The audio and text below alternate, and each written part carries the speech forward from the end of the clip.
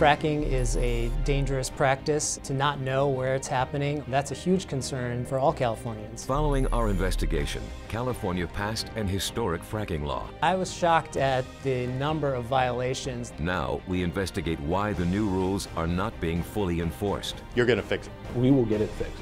Tonight at 11 on NBC Bay Area News, we investigate.